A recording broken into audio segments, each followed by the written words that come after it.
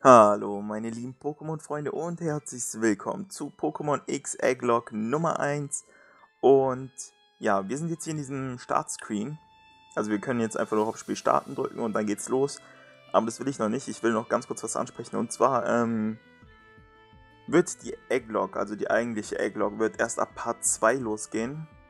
Und zwar, ähm, ich habe jetzt in, also ich werde jetzt nochmal in die Kommentare meinen Freundescode reinschreiben und ihr schreibt mir dann ähm, in, also ihr schreibt mir dann in die Kommentare euren Freundescode, ähm, damit ich euch adden kann, falls ich euch noch nicht geaddet habe, weil gestern, äh nicht gestern, im letzten Pokémon X Egglog Video, also in Part Nummer 0, das jetzt am Samstag kam, ähm, habe ich auch schon erzählt, dass ich das machen werde. Und zwar werde ich am Mittwoch um 13 Uhr, merkt euch die Zeit, Mittwoch 13 Uhr bis 14 Uhr werde ich ähm, bei Pokémon X online sein und werde dann von euch Eier entgegennehmen. Werde ich in Zukunft noch, ähm, werde ich in Zukunft ab und zu noch online kommen, aber das ist halt so die Hauptzeit, wo ihr mir am besten dann die, also eure Eier schickt. Am besten werden immer zwei Eier, wie gesagt, ähm, da wir wahrscheinlich nicht so viele Leute zusammenbekommen. Falls es ähm, zu wenige werden, frage ich halt auch nochmal andere, die mir dann halt schon Eier geschickt haben, ob ich von denen halt auch nochmal Eier bekomme. Aber es ist halt nur was Positives. Ich meine, ihr könnt dann sozusagen eure Pokémon, die ihr, also die ihr gebreedet habt, halt bloß noch nicht ausgebrütet, aber die halt gezüchtet habt, könnt ihr dann bei mir im Spielstand sehen. Und das ist doch auch schon was. Gut, ähm, ja, wir drücken jetzt hier auf Spiel starten. Ich habe schon alles eingestellt, also Deutsch und so weiter. Und hier sehen wir jetzt den, also hier sehen wir jetzt das Intro. Das soll sich nochmal kurz laufen. Das geht sowieso am, also ich glaube, es ist das kürzeste Intro von allen Pokémon-Spielen. Ich muss ganz ehrlich sagen, das beste Intro fand ich persönlich war das von Schwarz und Weiß wo N als kleines Kind als König gekrönt wurde und so. Das fand ich schon ziemlich cool, muss ich sagen. so, hier sehen wir jetzt einen Pokéball. Wie er also runterfliegt auf Platans Hand. Willkommen in der Welt der Pokémon. Mein Name ist Platan. Ich arbeite in der Kalos-Region als Pokémon-Professor. Wie du vielleicht weißt, wird diese Welt von Wesen bevölkert, die man Pokémon nennt. Die Pokémon sind rätselhafte Lebewesen, man findet sie überall auf dem Globus. Manche von ihnen leben auf dem Land, andere in der Luft und wieder andere im Wasser. Die Pokémon und die Menschen helfen einander, wo es geht, und leben im Eintracht miteinander. Aber sag mal, bist du eigentlich ein Junge oder ein Mädchen? Also ich werde den männlichen Protagonisten wählen. Wie siehst du aus? Also, ich muss sagen, das hier passt eher zu meiner Haarfarbe. Also ich habe schon so eine Art braun, also ich habe schon eher so braune Haare, aber ich habe eher solche Augen. Deswegen nehme ich mir den Pro Protagonisten und werde dann später meine Haare färben. Ich finde es auch cool, dass die, ähm, dass sie dieses mit den Style und so verändert haben. Also dass man da selber entscheiden kann, wie man aussehen will und so. Aha, verstehe. Und wie lautet dein Name? wie lautet wohl mein Name? Ähm, R A I Z O R. Alles gut? Alles gut. Enter. Ich freue mich echt mega auf dieses Projekt. Also ich habe da richtig Lust drauf. Razor heißt du also, ist das richtig? Jawohl. Razor, was? Ein toller Name. Dankeschön. Razor, in wenigen Augenblicken wirst du in der Kalos-Region ankommen. Lerne dort allerlei Pokémon und Menschen kennen. Sie werden... Ja, dankeschön. Schneller geht's auch nicht. Gut. Ähm, ja. Hier sehen wir jetzt ein, ich glaube Daitiri, heißt es Daitiri? Ich habe mich zu sehr mit Competitive äh, befasst, also und Fiaro ist es auf jeden Fall nicht. Ich glaube es heißt Daitiri. Oder war das die zweite Entwicklung? Ach, keine Ahnung. Ihr wisst, was ich meine. Der Feuervogel. Obwohl, die Anfangsentwicklung ist noch gar kein, also hat noch gar keinen Feuertypen, soweit ich weiß. Gut, ähm, ja, was ich euch eventuell noch bitten sollte, ist, ähm, ich hätte gern einen Flug-Pokémon, falls es einer von euch ähm, einrichten könnte. Nicht, dass ich dann die ganze Zeit ähm, hin und her laufen muss. Okay, wir müssen jetzt erstmal hier mit dem Spiegel reden. Ja, wir reden mit Spiegeln. Ich meine, ich kann ja auch in meinem Mikrofon mit mir selber reden. Kann ich auch im Spiegel mit mir selber reden. und hat sich geschwind umgezogen. Ja, Razer stand da eben. Schaut den Spiegel. Okay, gut. Haben wir hier noch irgendwas Interessantes? Ich glaube nicht. Hier sind nur noch irgendwelche Schubladen. Können wir irgendwas an unserem PC abholen? Laptop, tut mir leid. Abenteuerregel Nummer 1, Abenteuerregel Nummer 2. Ja, nicht mal ein Trank, ey. Mann, wie steht. Ah, da steht eine Videokonsole. Das Gamepad hat einen eigenen Bildschirm. Oh. Product Placement hier. In den eigenen Spielen. ähm. Da ist die Mutter. Guten Morgen, Razor. Du hast geschlafen wie ein Stein. Hast du dich vom Umzug erholt? Ich habe hab gerade irgendwie vom Umziehen, also vom Klamotten umziehen, habe ich irgendwie gedacht. Deswegen es wird Zeit, dass du etwas frische Luft schnappst. Wie wäre es, wenn du unsere neuen Nachbarn begrüßen gehst? Fängt ja schon mal sehr gut an. Okay, dann machen wir das auch gleich mal. Gehen erstmal hier raus.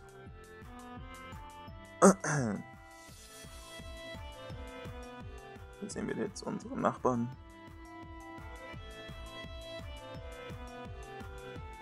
Können wir uns bewegen? Hallo, ich bin Serena. Ich wohne gleich nebenan. Ich bin, Leute, ich muss euch von Anfang an erstmal sagen, ich bin nicht gut irgendwie im Stimmen verstellen oder so. Also ich kann jetzt nicht einfach so auf eine hohe Stimme wechseln oder so. Vielleicht kann ich es irgendwann, aber ich weiß nicht. Ich, ich bin nicht so der Typ dafür. Ähm und ich bin Sanna. Schön, dich kennenzulernen. Wir sind hier, um dir eine Nachricht zu überbringen. In der Kalos-Region gibt es einen berühmten Pokémon-Professor namens Platan. Er hat uns drei und zwei weitere Kinder für einen besonderen Auftrag auserkoren. Wo er dich kennt, obwohl du doch gerade erst nach, ich weiß nicht, wie man die Stadt ausspricht, Escisia, Escisia bezogen bist, keine Ahnung, ähm, ist uns aber ehrlich gesagt schleierhaft. Aber das finden wir schon noch heraus. Gehen wir erstmal ins Nachbarstädtchen, dort bekommen wir angeblich Pokémon. Also los. Den letzten. Achso, den letzten weiß New. Okay. Gut, ähm, mein Starter-Pokémon werde ich auch gegen ein Ei tauschen. also das habe ich jetzt nur am Anfang ganz kurz. Gehen wir erstmal hier raus. Und her. Den Kreis laufen. ist echt cool, so eine Capture-Card. Generell der neue DS hier, ich finde den mega cool. Also ich bin ja eigentlich so vom XL gewöhnt, aber dieser kleine DS ist auch richtig süß. ähm, hey Razer, hier drüben sind wir. Okay. Wir haben gerade von dir gesprochen. Komm, setz dich zu uns. Da wären wir also, Razer. Das ist der vereinbarte Treffpunkt. Darf ich vorstellen? Das ist Razer. Du bist das also. Sanna hat uns schon viel von dir erzählt. Razer kennt die Hälfte von uns noch gar nicht. Ich stelle ihm, stell ihm besser erstmal alle vor. Das hier ist Tierno, Tierno, keine Ahnung, wie man seinen Namen ausspricht. Tierno, keine Ahnung. Er liebt imposante Tänze.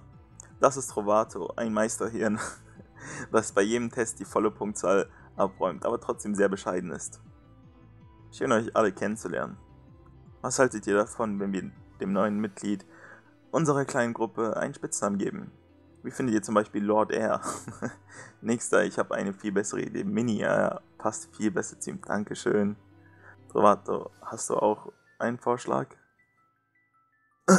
Was? Ich soll einem wildfremden Menschen einen Spitznamen geben? Aber gut, wenn ihr drauf besteht, wie wäre es denn mit Monsieur Air? Fragen wir am besten den, der später mit dem Spitznamen leben muss. Ähm, ich will einfach Razor genannt werden. Also keine Ahnung, was die sich da bei diesem Spitznamen mäßig irgendwas gedacht haben. Aber ich bin da nicht so der Typ für.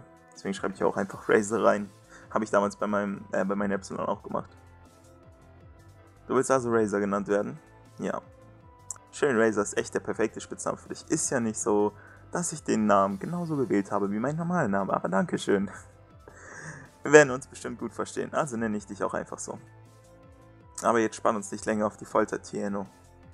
Weiß nicht, wie man seinen Namen ausspricht. Zeig, zeig uns endlich die Pokémon, die unsere Zü zukünftigen Gefährten werden sollen. Mach ich doch sofort. Trovato, Tomato und ich haben schon Pokémon. Trotzdem bin ich irgendwie neidisch auf euch drei. Ich habe ich werde am Anfang ähm, Froggy nehmen. Heißt es Froggy? Ich weiß es gerade gar nicht. Nee, Froxy. Froggy ist der englische Name.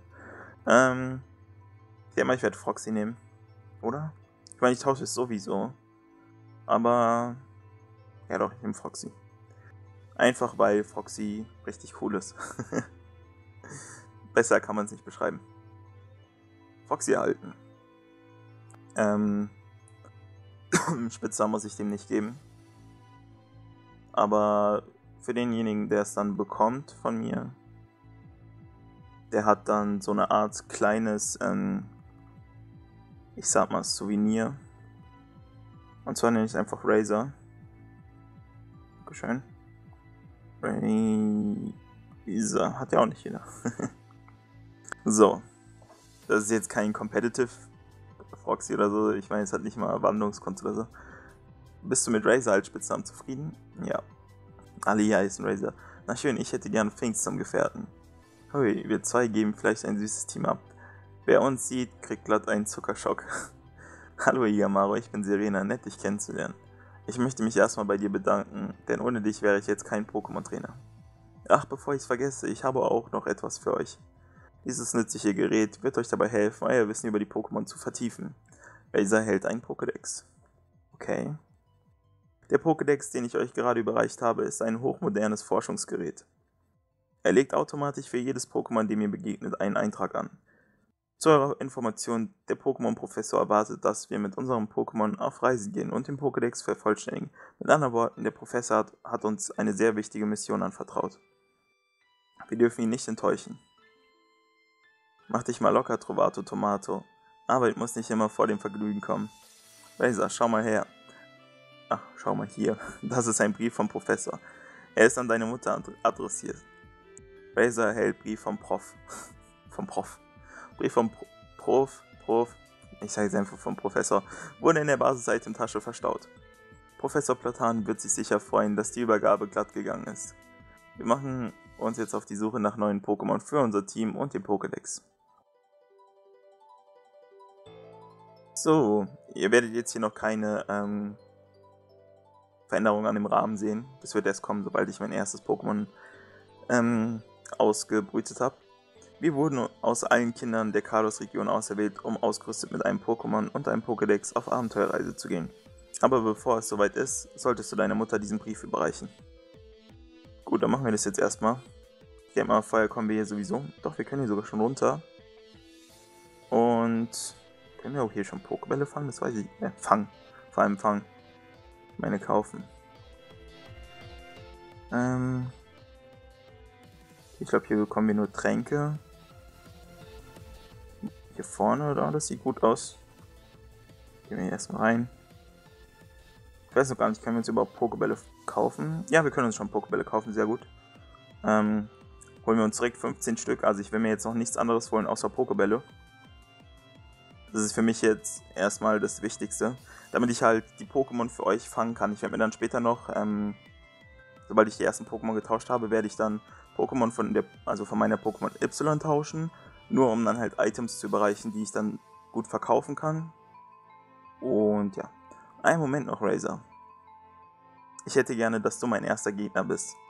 Es ist soweit, Finks. Unser erster Kampf. Ein Pokémon, das so knuffig ist wie du, kann ja gar nicht verlieren. Den ersten Kampf müssen wir jetzt bestreiten.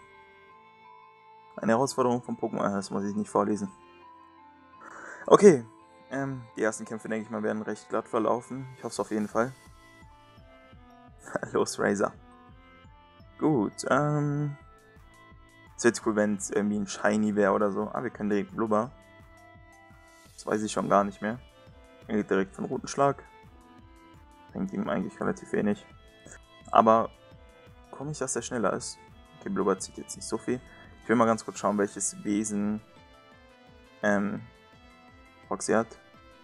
Sehe ich hier noch gar nicht, gell? Das muss ich später schauen, ja. Obwohl wir eine Initiative von 12 haben, es trotzdem schneller als wir. Krass. Okay. Sind uns aber noch 5 KP.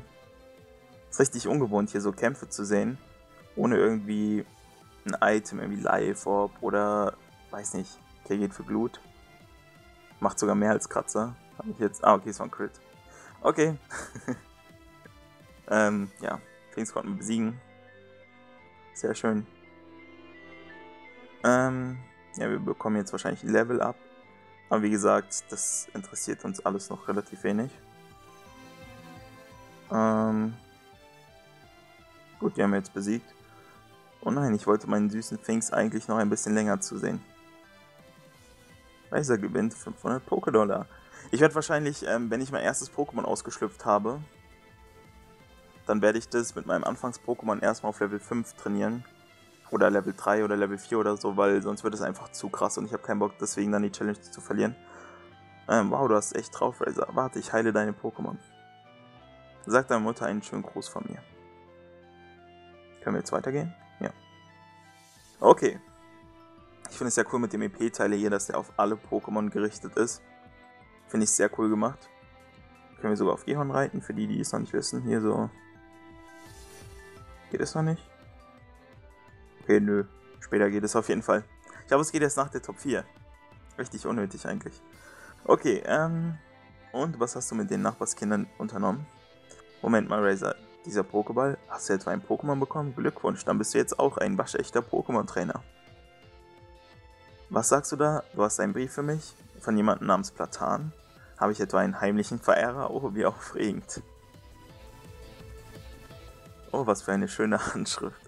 Mal sehen, er möchte mich um etwas bitten. Aha, so ist das also. Razor, kaum sind wir hergezogen und dann gleich sowas. Aber gut, ich bereite gleich alles für deine Reise mit Foxy vor. Immer wieder krass, dass, weiß nicht, dass man halt einfach, ähm, die Mutter halt einen einfach so auf so eine riesige Reise schickt. Ja, Razor, ich habe dir auch ein paar Klamotten zum Wechseln eingepackt. Ach, das kommt alles so plötzlich. Genau wie der plötzliche Endspurt eines Teilnehmers in einem Rehornrennen. Du hast Freunde gefunden, du hast ein Pokémon bekommen und jetzt wirst du Carlos bereisen. Ah, vergiss das hier bitte nicht. Razor erhält Karte. Ja, die hat sie auch schon ganz zufällig. Ähm, du weißt, wie man eine Karte liest, oder? Ja. wie die Mutter, so der Sohn. Wähl im Beutel die Karte aus, wenn du sie benutzen willst. Ich weiß zwar selbst nicht, was dieser Professor Platan dir zeigen möchte, aber eine Reise mit einem Pokémon ist etwas Wunderbares. Wo ist die eigentlich gerade eben reingelaufen? Man hat gesehen, die ist nicht hier hochgegangen. Na egal. Kann anscheinend durch Wände laufen. Okay, jetzt kommt es mit Rihon. Erstmal wackelt alles. Dankeschön. Ach, du warst das Rion. es will dir eine gute Reise wünschen. Klare Sache, immerhin seid ihr beiden seit eurer Geburt dicke Freunde. Pass gut auf dich auf, Razor. Ich hoffe, du machst das Beste aus dieser Zeit. Aber darüber brauche ich mir wahrscheinlich keine Sorgen zu machen. Du hast schließlich ein Pokémon. Gut. Können wir jetzt auf Rihan reiten? Ich weiß es nicht. Hat es die Augen offen oder zu? Jetzt hat es die Augen offen. Und jetzt können wir auch auf Gion reiten. Für die, die es noch nicht wussten. Fans auch. Okay. Geht schon von alleine zurück. Schade, dass man mit dem. Das generell, wenn man jetzt zum Beispiel irgendwie einen Mäkel hätte oder so, dass man damit dann irgendwie nicht reiten, drauf reiten könnte. Das hätte ich echt cool gefunden, wenn die sowas irgendwie eingebaut hätten. Ähm, ja, wir gehen jetzt erstmal hier runter. Schauen uns jetzt noch diese Zwischensequenz hier an, hier wie man angeblich gezeigt bekommt, wie man Pokémon fängt. Wie man Pokémon fängt. Ähm, ja, habe ich gerade mitgelesen. Ich weiß nicht, ich bin nicht so der Typ, der so gern mitliest, aber ab und zu ist es halt schon wichtig. Okay, hier kommt jetzt immer für die Leute, die es noch nicht wissen, hier kommt immer ein Taubsi Level 2. Genau im zweiten Grasfeld. Das ist einfach so eingebaut. Es? Oder Level 3, ich weiß es nicht, aber das ist immer so eingebaut. Wirklich immer. Also immer an dieser Stelle kommt dieses Taubsi. Und ich versuche mir das jetzt direkt zu fangen. Ähm, ab hier, also dieses Taubsi hier gilt schon als Pokémon, ähm, das ich gegen ein Ei eintauschen kann. Also wenn ich das nicht besiege, dann darf ich auch kein, also darf ich auch nicht ein zweites Ei schon benutzen. Erkläre ich jetzt gleich nochmal genau für die Leute, die es noch nicht so ganz verstanden haben. Ich versuche jetzt erstmal dieses Taubsi hier zu fangen. Eins, zwei und drei und gefangen. Gut, das heißt, wir können uns jetzt schon, wenn wir, also sobald wir die Eier haben, können wir direkt schon zwei Eier ausbrüten. Das ist schon mal sehr gut. Ähm, ja, für Taubsi bekommen wir einen Pokédex-Eintrag. Alles sehr schön. Wurde registriert. Möchtest du Taubsi Ich glaube, Spitznamen muss ich. Ich muss denen keinen Spitznamen geben. Würde mich eigentlich verwundern. So, wir haben jetzt hier dieses Taubsi. Und können wir hier noch weitere Pokémon fangen? Okay, gut. Das werde ich dann nämlich alles offscreen machen. Ich werde jetzt nämlich hier erstmal den ersten Part beenden. Ähm, mache ich direkt bei diesem Taubsi. Und zwar wird es jetzt wie folgt sein. Ich habe jetzt zwei Pokémon. Ich habe einen Taubsi und ich habe einen Froxy. diese zwei Pokémon, ähm, also für diese zwei Pokémon bekomme ich jetzt je zwei Eier. Das Foxy werde ich jetzt vertauschen. Das ist dann einfach für jemanden äh, so eine Art kleines Geschenk oder so, die ich jemandem geben möchte. Ähm, das ist halt sozusagen das Anfangsstory-Pokémon. Und also das werde ich demjenigen geben, der mir als erstes eine Tauschanfrage schickt. Und ja, wir sehen uns dann bei der nächsten Folge.